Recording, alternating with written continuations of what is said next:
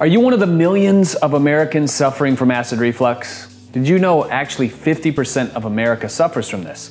Billions of dollars are spent every single year on things to suppress that acid reflux, right? Those burps that you get, the acid coming up in your mouth. I don't want you to be spending your money on that stuff. And I know the companies that produce it are gonna hate me for making this video, but you have to really understand what the root cause of the issue is. It's not the fact that you're making too much acid, acid reflux, right? Some people think that. They're burping it up, they feel like they're making too much. It's actually the opposite of that. Acid reflux is actually your body's inability to produce as much HCl, or which the hydrochloric acid in your stomach, as it needs to digest the food and to maintain that homeostasis of the gut. Often acid reflux is a sign of H. pylori. So I'm gonna show you some easy natural ways that you can start implementing right away to hopefully make it subside feel better, have more energy, and not have to worry about acid reflux. It can be embarrassing. You know, you get the burps, the hiccups, the stomach, the heartburn. You have to take out your medication and have it before you eat a meal. It can be pretty inconvenient.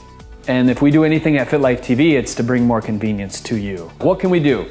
In a second, I'm gonna show you a juice recipe that will really help with it. But first, let's talk about some tangible tips, tools, and strategies that you can implement in your life. So number one, I want you to start eating unprocessed foods. Foods from the farm, foods from the land, not from some plant that they put in boxes that sits on shelves for years with the stability light that's through the roof. We gotta start eating healthy food from the farmer's markets, from Whole Foods, preferably organic if you can get your hands on it. Number two, probiotics. Your gut bacteria changes every 20 minutes. 80% of your immune system comes from your gut, 90% of the serotonin, which is that happy chemicals produced in the gut.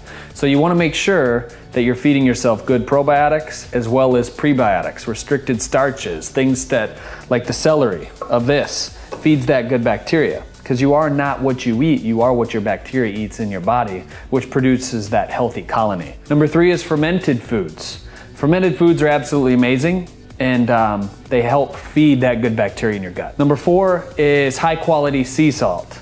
Celtic sea salt has over 88 trace minerals in it, or you could get pink Himalayan sea salt and um, it's absolutely amazing for you. I want you to start eliminating food triggers. Food triggers are things that we talk about with our coaching students that can trigger allergies, such as sugar, dairy, wheat, alcohol, caffeine are more uh, common food triggers. So I want you to start eliminating those as well. Number six is one of my favorite things. Um, we made a blog post. Sheree, what was it? 99 things apple cider vinegar is good for.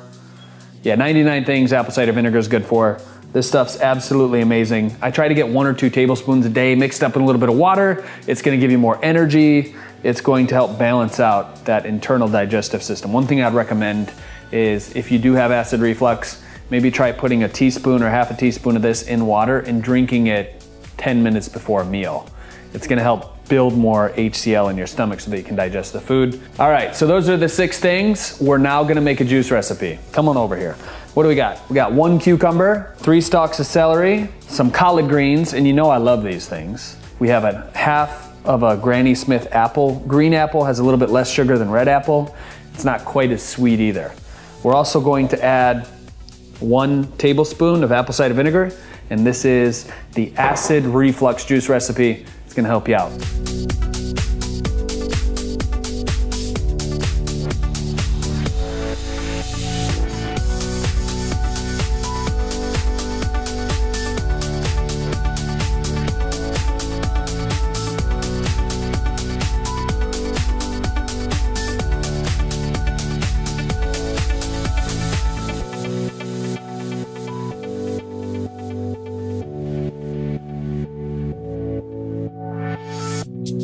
Here we go.